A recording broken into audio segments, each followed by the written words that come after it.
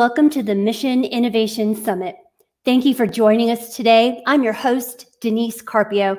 I'm on the UT Dallas Institute for Innovation and Entrepreneurship team and a student in the Emerging Media and Communications MS degree program here on campus. Perhaps even more relevant in the context of today's event, I'm also a U.S. Navy veteran and an entrepreneur. I am excited and honored to be part of today's programming.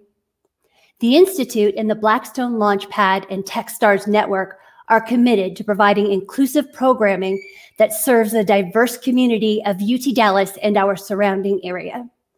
We are grateful for the partnership that Capital Factory and the Military and Veterans Center at UT Dallas provided to create today's Mission Innovation Summit. And we hope you are all inspired and better equipped to begin or expand your entrepreneurial journey after attending today's sessions.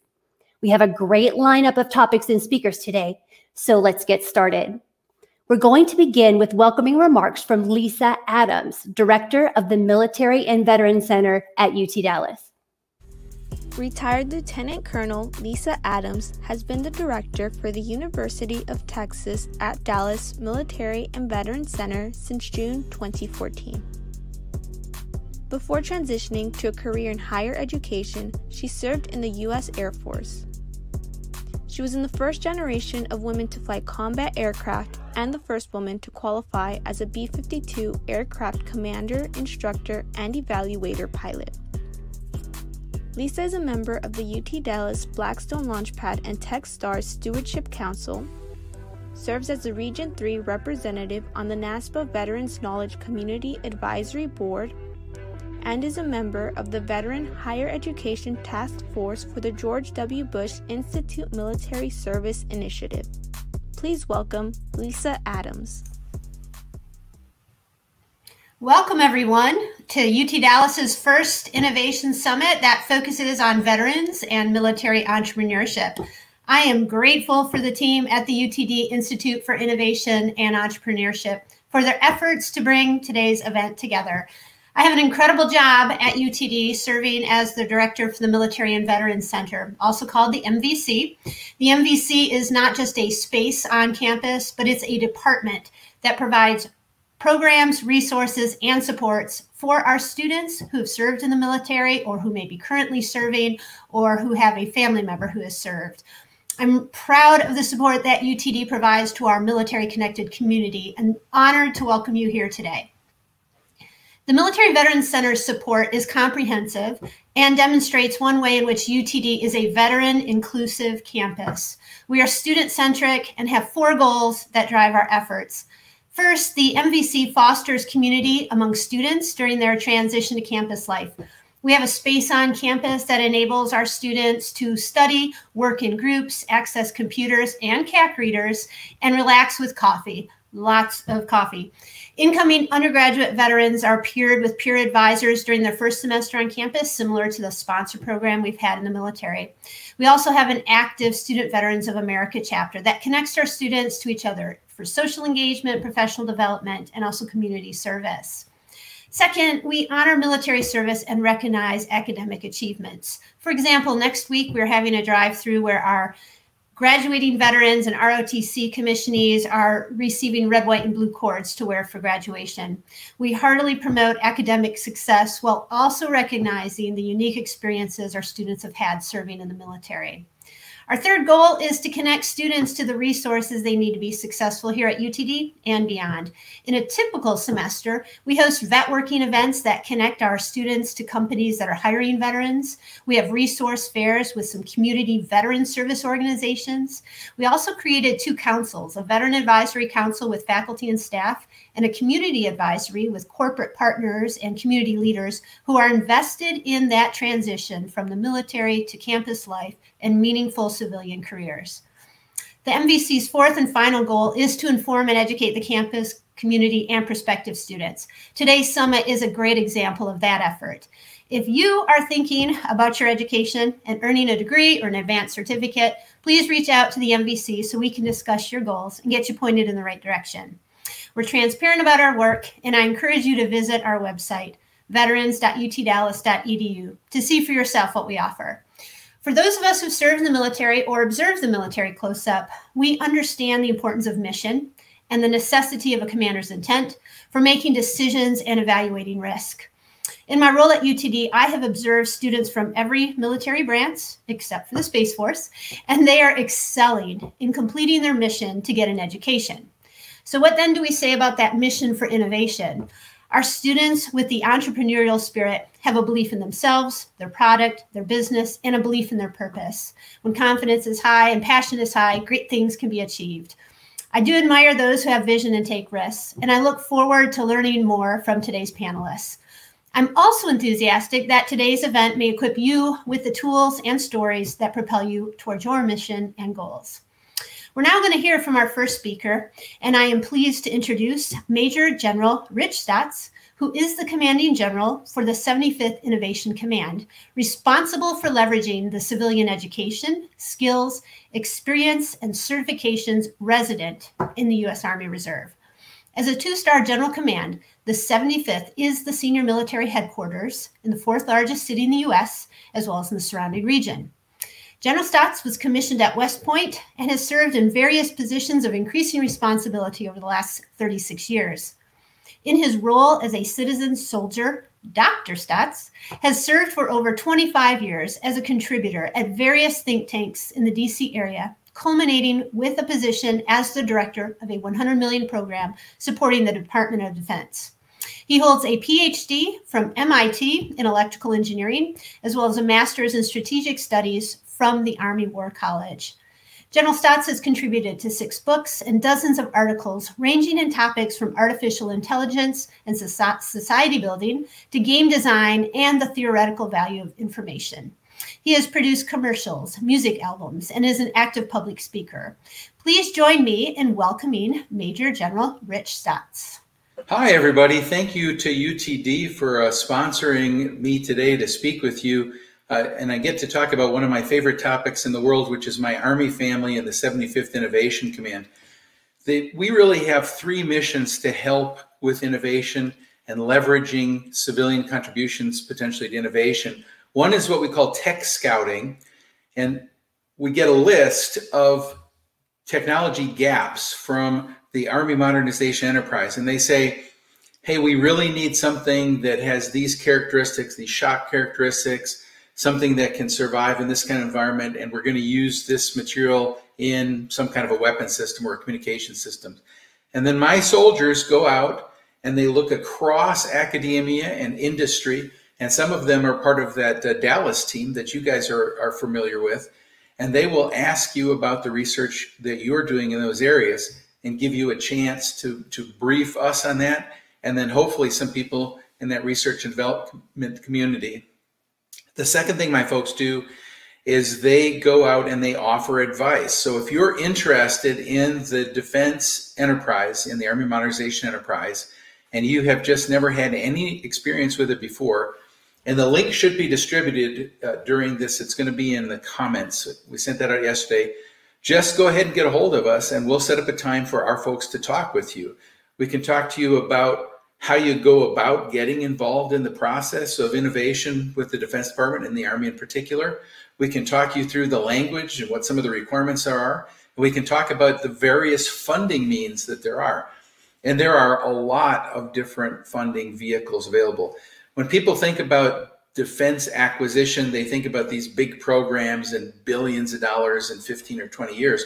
But the defense, really, the defense enterprise has multiple means. They've got the small business initiative. They've got something what they call Section 804 or non traditional accessions to do rapid prototyping. There's also opportunities to work with the various labs and research organizations and become partners with them.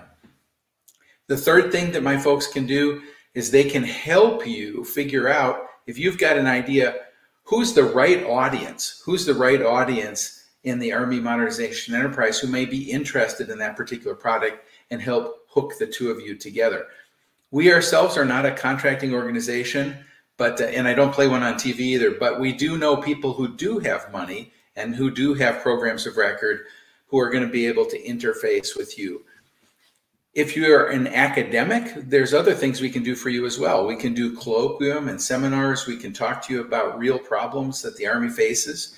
And those go the gamut all the way from personnel concerns and how do you do recruiting and retention to how do you actually conduct operations in electronic warfare? How do you how do you operate a network in a uh, in a disrupted and destroyed environment, and everything in between. We also have a, a number of PhDs in our staff.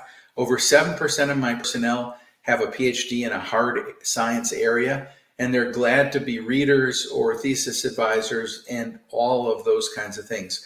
We also do hacking for defense. So really a, a broad spectrum of services and we're here to help you. We're very interested. Uh, many of us, uh, by the time you get to my age, and I'm old, I confess that I'm old. Uh, I have uh, kids who have gone through college already, but we're very, very interested in that next generation in helping you get on your feet. 93% of the people in our formation out of the whole Army Reserve, so not just the 75th, but the whole Army Reserve, 195,000, 93% of them are not only soldiers, but they have a civilian job. And again, we can, so we can talk about almost any topic you want to in the civil sector. And again, as was pointed out earlier, that includes civilian education, skills, experience, and certifications. And with that, I think I'm going to give you back about uh, five minutes of your life you never thought you'd have. So, uh, Denise, back over to you. Thank you again, UTD. I really appreciate the chance to talk with you today. And again, if you want to talk to the 75th and hear more about us and our mission, or have us help guide you, please check out the link that was included in the comments. Thank you so much. Back to you, Denise. Thank you, General Staats. Next, I'd like to introduce you to the Managing Director of Portfolio Operations at Blackstone, Jason Santamaria. He's going to share a little more information about veteran initiatives at Blackstone and introduce you to our next speakers. Jason Santamaria is a managing director in the Portfolio Operations Group. Jason is involved in identifying, advising, and supporting margin expansion opportunities through transactional and operational process improvement, complexity reduction, and value engineering in Blackstone's global portfolio company holdings. Before joining Blackstone in 2018, Jason held a number of senior leadership roles in large public and private companies. Early in his career, Jason served as an artillery officer in the United States Marine Corps and as a Fulbright Scholar in South America. Please welcome Jason Santamaria. Thank you, Denise. It's great to be back at UT Dallas. I had the opportunity to serve as a judge in the 2020 Big Idea competition last fall, where we saw some great pitches from impressive startups such as Lazarus 3D, Skyven Technologies, and Vigilant Software. And I'm even more excited to be part of today's Mission Innovation Summit, given the dual theme of entrepreneurship and veteran advancement, both of which my firm at Blackstone and I proudly support.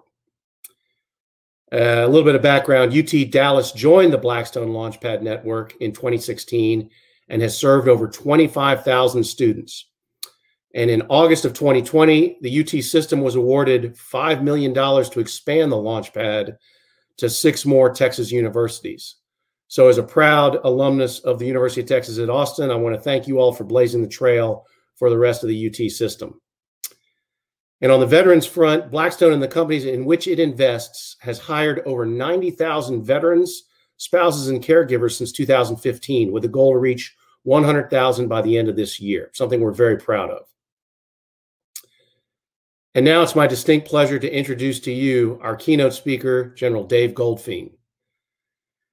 General Goldfein retired from the U.S. Air Force in October 2020 after a distinguished 37 year career, where he commanded at every level and finished as the 21st Chief of Staff, the, the service's highest ranking four star officer.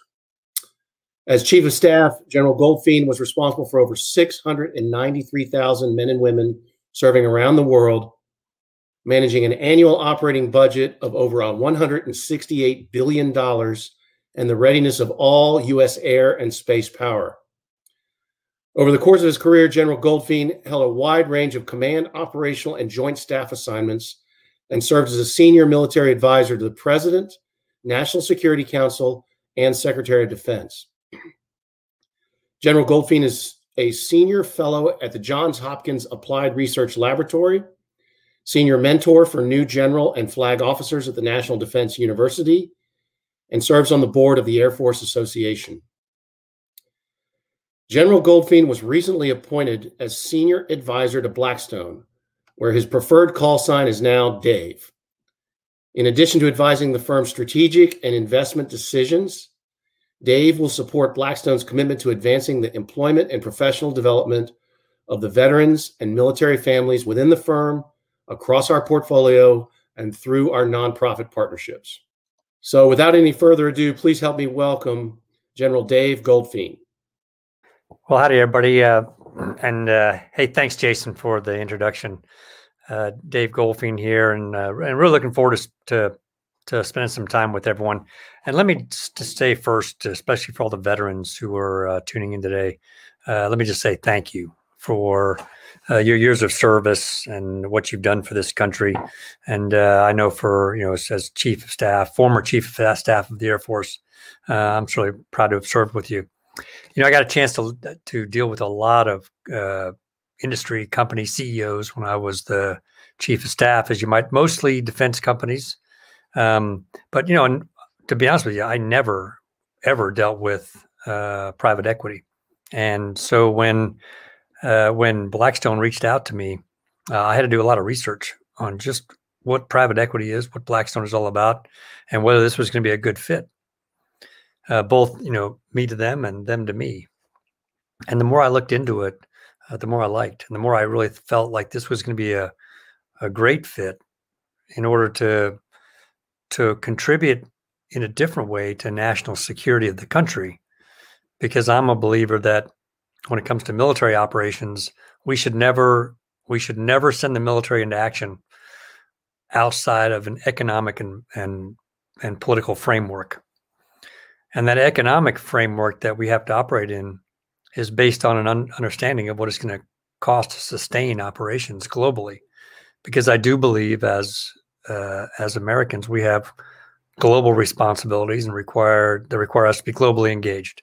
And you can't do that. We can't do what the world expects of us that that needs from America if we don't have a sound economy to be able to uh, to sustain operations. And so, the more I looked into Blackstone, the more I found that it's an opportunity to contribute to the national wealth of this nation to grow our economy. And if you look at empires of the past, I would offer to you that empires that have failed or crumbled uh, didn't do so militarily, they did so economically. And then once they started failing economically, then they had to pull in their militaries, they had to pull in their global operations.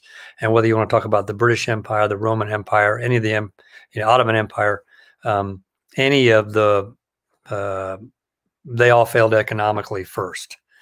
And so, what an important opportunity we've been given to be able to contribute to the national wealth and the and the growth of our economy going forward.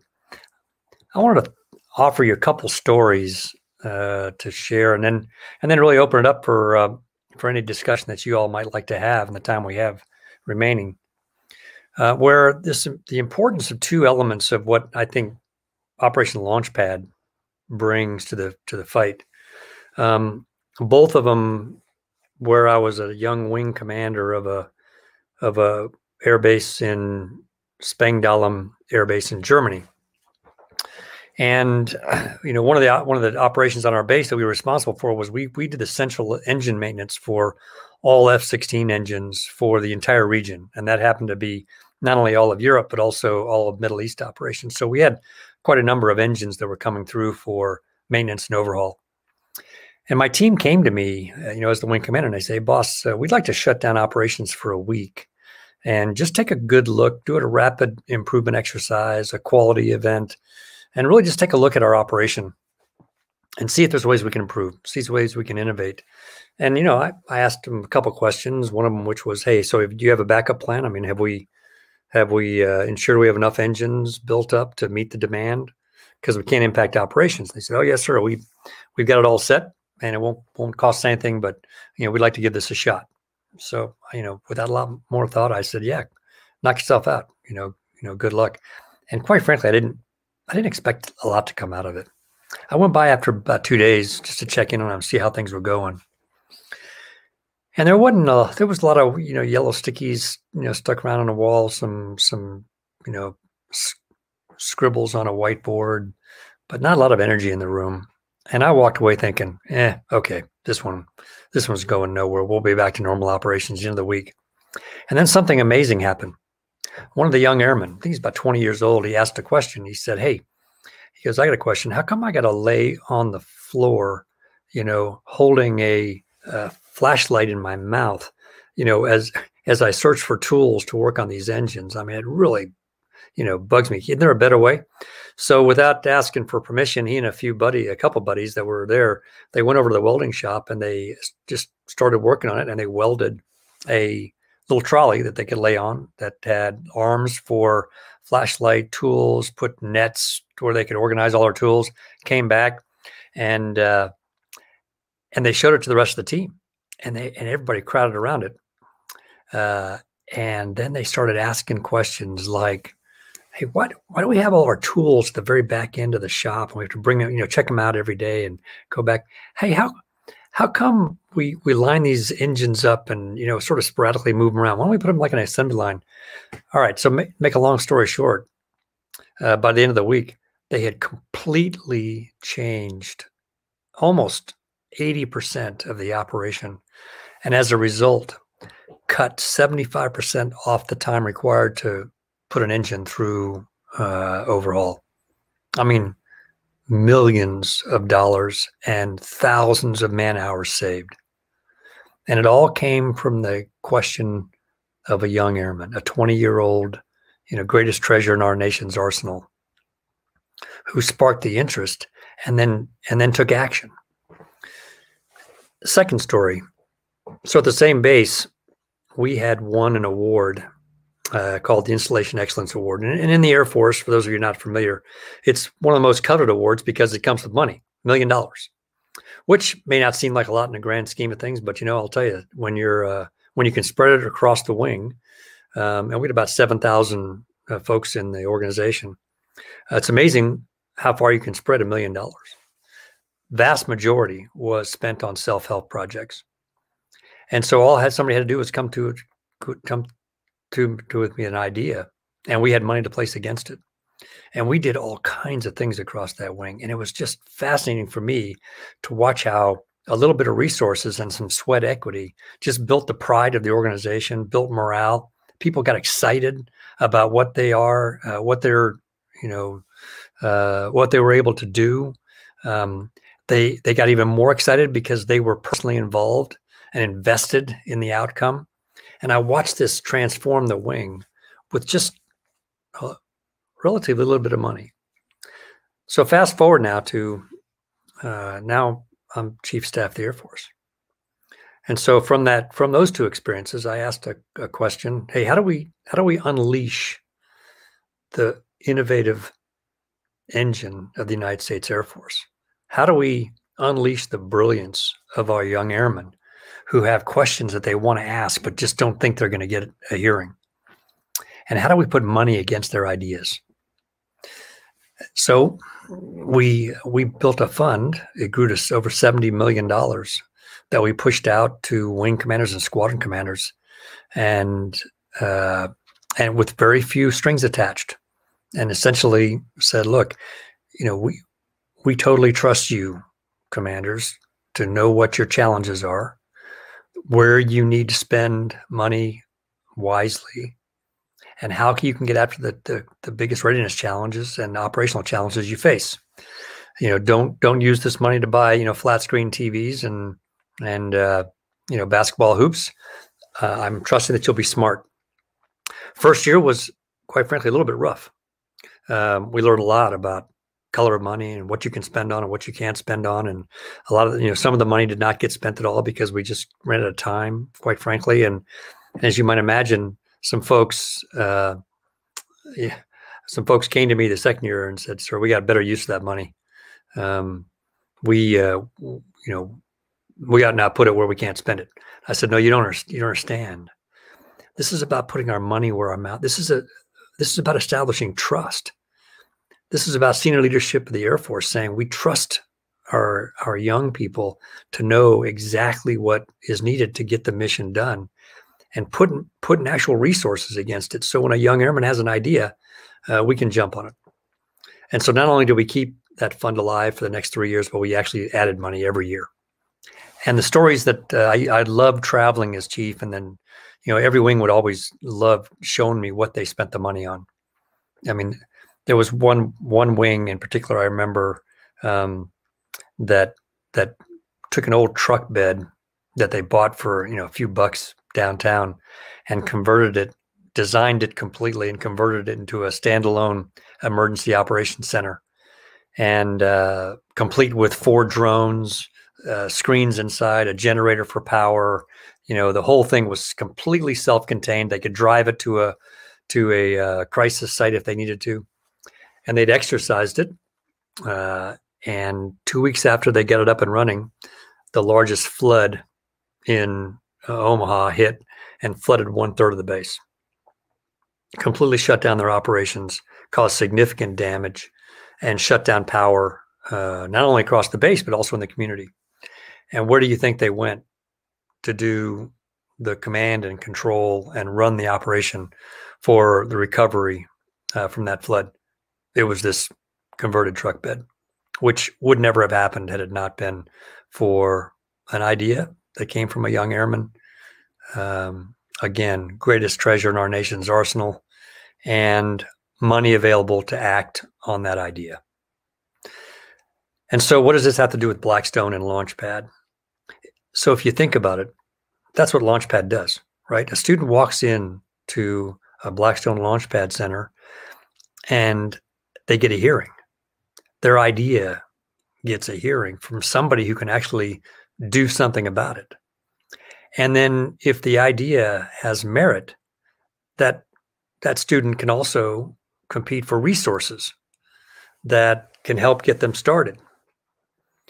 And together, you know, not every startup, we all know the stats, right? Not every startup is going to become Uber uh, or SpaceX, right? Um, but a few will. And if those few became you know big companies that hired lots of people and gave really good jobs and helped grow our economy, then we're we're actually executing what I see as a big part of Blackstone's mission, which is to create national wealth so that American can do what the world needs us to do as a global leader. So I'm really proud to be a senior advisor with Blackstone, proud of all the veterans out there and really proud of of uh, Steve Schwarzman's initiative with Operation Launchpad, and uh, and excited about being an ambassador for the program. You know, especially as a visiting professor here in the UT system.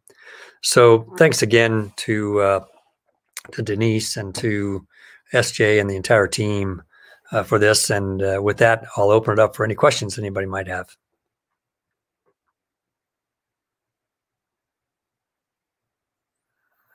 Okay, I got a question from Victor. Can we share some insights on how to curate the DoD's problems so that universities and small companies can see and take a swing at solutions? Yeah, one of the ways that I, I can speak to how the Air Force and a little bit to how the Army uh, is doing it. I'll speak to the Army first. Uh, Army's you know, built a command, a new command called uh, Futures Command. It's based in Austin, Texas, and one of the ways that uh, it it becomes a storefront, I think, for uh, for you know small companies to be able to uh, to you know compete for projects. I don't know as much about that program as I do about the Air Force, and I'll show you what we've done. We we began under the leadership of a guy named Will Roper, who used to be the head of acquisition, just a brilliant, brilliant guy we started uh, under him and also fellow Texan former vice chief uh, Seve Wilson um, a program called AFWERX. Uh, and AFWERX is a, also a storefront where, where, and we have several uh, headquarters where um, during a pitch day, any small company can, you know, can come in with a pitch and get a contract on the on site. We got new. There was new legislation that allowed, you know, direct contracts uh, for small companies, and we we did one in New York. And I think the greatest quote I heard was that it took less time to get a contract in the United States Air Force than it did to buy a beer in New York City. And and we're not talking small money either. We're talking you know several million dollars that uh, we carve out to be able to support small companies with with uh, intriguing solutions. A big part of your question though was was how do you have insight into into uh, what problems we're trying to solve? And I can tell you through the Air Force, uh, a lot of that is through our our AFWERX. That's the storefront. That's where you can come in and get a really good sense of where it is, uh, what we're going. I would also encourage you to um, to to look at the service uh, web pages because I think we also we also um, you know post some of the challenges that we're trying to solve there. And then you know last part of this answer, uh, Victor, is you know the biggest challenge and the biggest opportunity for the Department of Defense in the next several years is to switch from an analog system to a digital system where the and the framework I've always thought about for industry is the answer to three questions. Does it connect? Does it share? And does it learn? Does what you're offering connect? And does what we have connect not only across all the services, but equally important to all our allies and partners? Does it share information and data that's the which is the currency of future warfare? And uh, is that data pro- proprietary and unshareable, or is it open mission system and available. And the last one is learned. Have we placed artificial intelligence at the at the tactical edge where we're connecting computer to computer and we'll get humans from being in the loop, which is where they are today, to on the loop where they're making critical decisions as opposed to working at human speeds? Um, boy, great question. Thank you. Question from Dave: What what subjects am I teaching? So, uh, because of COVID, I'm just starting. And by the way, I just retired last October, so I've signed up with UT, uh, UT uh, San Antonio and UT El Paso, where my good friend and former Secretary of the Air Force, uh, Dr. Heather Wilson, is the uh, university president. And the intent is for me to uh, teach leadership and and perhaps also help in their business school as I get more steeped in the business of you know private equity as a senior advisor here at Blackstone. Um, but I haven't honestly started teaching yet, so we are now in the final discussion about you know which specific courses and when we start. I think we're probably looking at. I actually head next week to El Paso for an orientation, and I'll have a much better sense of uh, which classes I'll be working with uh, after that. Thanks, Dave. I will. I am now. Uh, I just got a question. Will I be traveling between UT schools? Yes, and uh, hope to include in that uh, UT Dallas uh, is what we're talking about now. Um, so I, uh, you know, I stopped flying uh, actively in the Air Force in 2013 in Afghanistan. I stopped flying because you know people ask me, "Boy, do you miss flying?" And I said, "Well, I miss flying well." Um, and I stopped flying when I couldn't dedicate the time to actually fly well.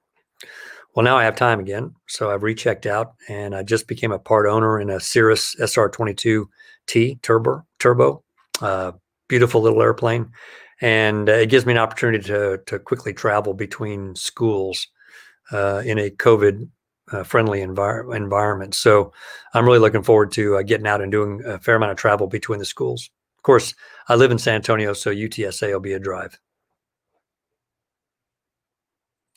Yeah, so I'm I'm I'm assuming that you all are seeing these questions too, but just in case, it says, "What would I recommend to students who are just starting their entrepreneurial journey?" Yeah, I'd say a couple things. Um, number one, build a network.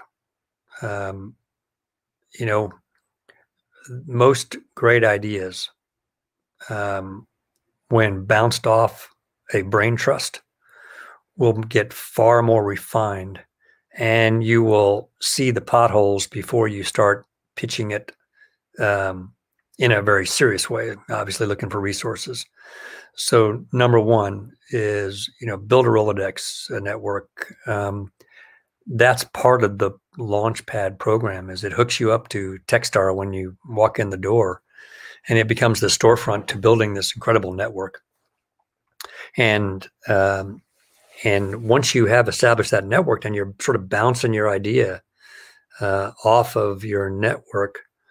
Then the second I, I i would say is really zero in on who you think would be a great sponsor for this idea. Who has credibility in this particular arena? So i've got actually i i'm i myself am working on an idea that i've been uh, it's been brewing for a few years you know my biggest frustration as chief of staff of the air force when i traveled was um, the terrible lack of access to childcare military childcare on bases especially hitting our junior enlisted and especially hitting our dual military families and exacerbated by COVID. And the second area uh, that concerned me was um, the lack of friendly career paths for military spouses. You know, we often talk about employment for spouses, but employment is is one thing. An actual career path that allows you to move up in an organization as you move is something I want to get after. And I've got an I've got an idea that I'm working through, and I've built a network, and now I'm working sponsorship uh, to go forward to see if we can solve to bring a, a public-private uh, solution to what I think is a wicked hard problem, but essential to solve.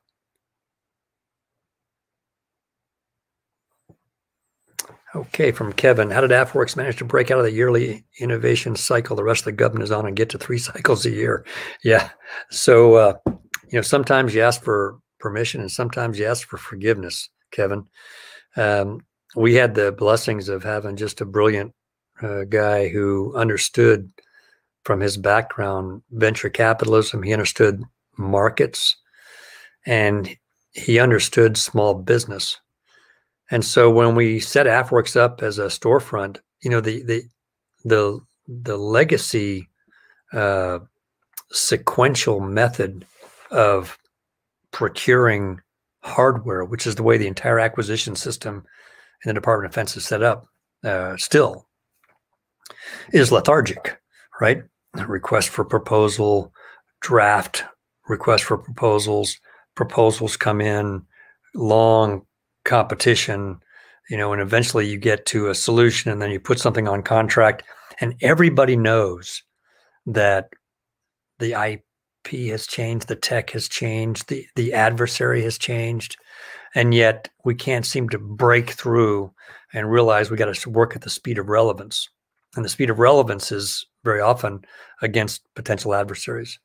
And so knowing that that was our big one of our biggest challenge, we were able to uh, break out of that by and and by the way, Congress was very helpful because as we took them the problem, they they saw in some of our big programs the result of and when I say sequential, you know, you don't get to this milestone unless you complete this milestone, which completes that milestone, and that's not a bad uh, that's not a bad model, you know, for uh, for building something that you know will not need to change significantly for some period of years. But I question how many weapon systems fit into that category anymore. Not many, if any. Thanks, Kevin.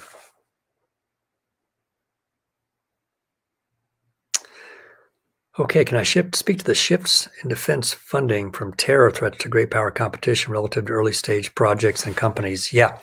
Um, so the let's go back to what I mentioned to you about this framework for digitizing the Department of Defense. Does it connect? Does it share? Does it learn? And if if I added a fourth, I would add, and can it be trusted?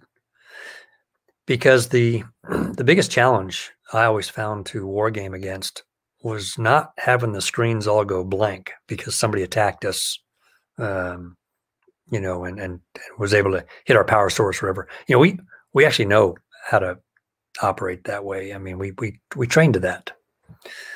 The hardest part, the hardest challenge is when screens are still full.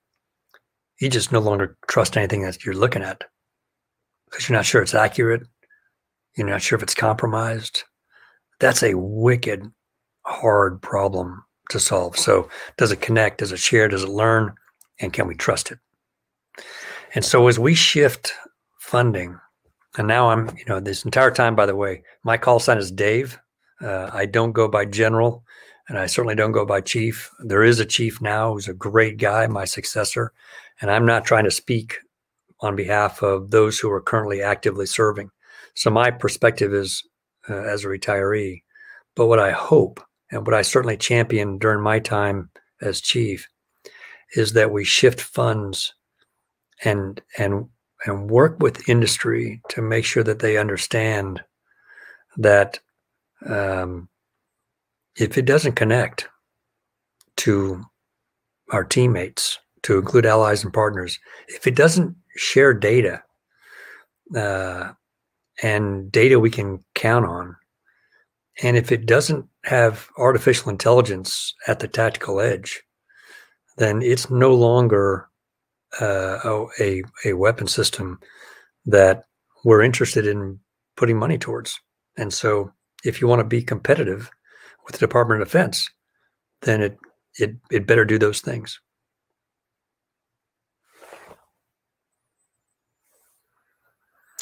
Okay, let's see, Alex. Uh, diversity, inclusion, you bet. Um, what kind of feedback do we get on those efforts? You think we supported innovation? Yeah, thanks, Alex. You know, I I'd, I'd say the chief Wright and I sort of got a got a conversation started, um, and we probably teed teed up the ball for the next team to come in and and and drive it down the fairway.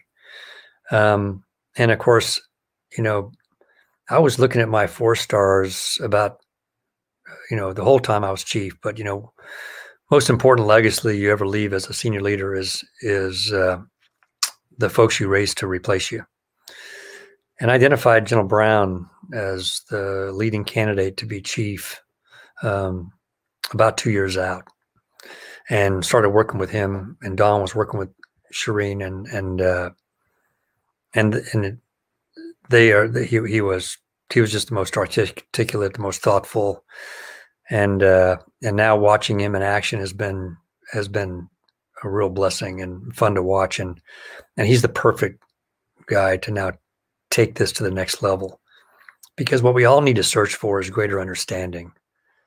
And I think we start that understanding with the recognition that for everybody on this, you know, who's listening, who looks and sounds like me, um, I don't think I can tell you a single room I've walked into that wasn't filled with people who look just like me most of the systems that have that I've been in that were competitive were designed like by people like me for people like me.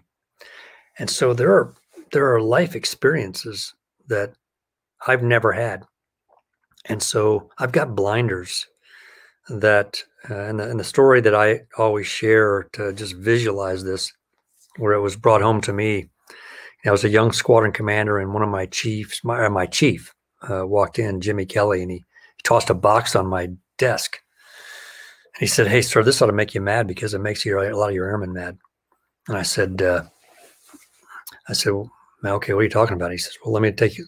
He says, "We'll take a look." And I looked at the box and I said, "Chief, I don't get it. What, are, you, what are you trying to tell me?"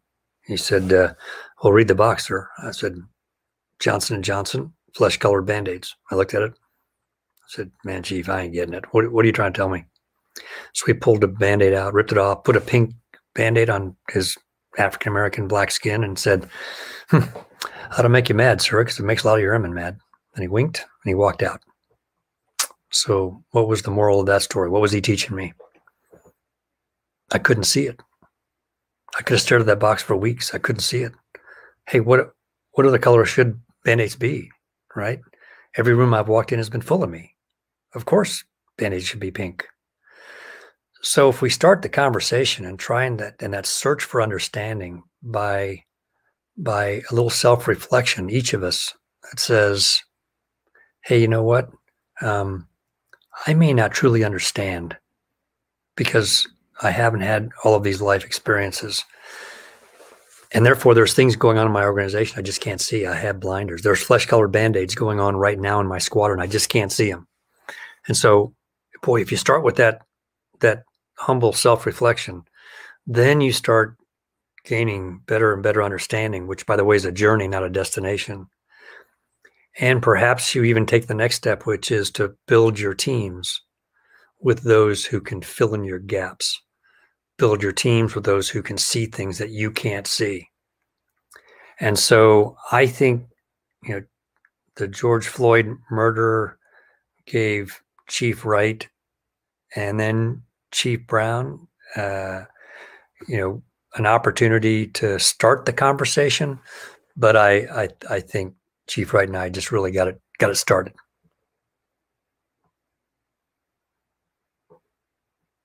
Okay. Well, hey, uh, let me just end it up by just saying again, thanks, thanks to every one of you, especially you know, thanks, thanks to all the veterans, and thanks to the the launch pad. You know, bringing you know, unleashing the brilliance of this nation is one of the most important things we do.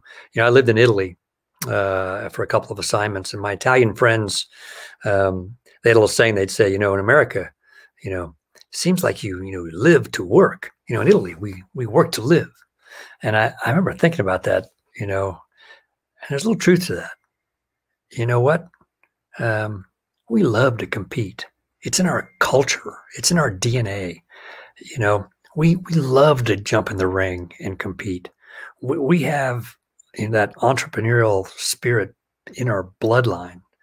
And so if Blackstone Launchpad can do just a little bit to unleash that those ideas and give students who walk in uh, a hearing and maybe some resources to get their idea moving, you know, God bless them. And I'm, uh, I, I for one, am is very proud to be part of it. So thanks for your time today. Next, you all have a difficult decision to make. We just received notice that Dave Cass is unable to be here today for the customer acquisition session. So we're going to reschedule that one for another date. The other two sessions will be available live today. The hard part comes in the fact that you can only attend one live session at a time. Don't worry though, every session will be recorded so you can watch the ones you couldn't catch this afternoon later on on our YouTube channel. Here's a preview of each one. At 2 p.m., you have three sessions to choose from. Veterans Founder Stories host a panel of veteran entrepreneurs sharing about how they started their business and advice for entrepreneurs starting out. Customer Acquisition will talk all about business development, acquiring customers, and retaining them. Innovating with a DoD will feature several defense innovation groups to discuss how you can engage with them and apply for grant opportunities. Then, at 2:50 p.m., choose from a session about getting started with Bunker Labs, raising capital featuring Capital Factory, and several defense innovation units, and a panel that discuss distinct public, private, nonprofit, and entrepreneurial viewpoints to discuss current initiatives, future programs, and advice. All sessions have plenty of time for Q&A, so be sure to ask questions. Then, we will see you at the closing keynote at 3:40 p.m. Enjoy the breakout rooms.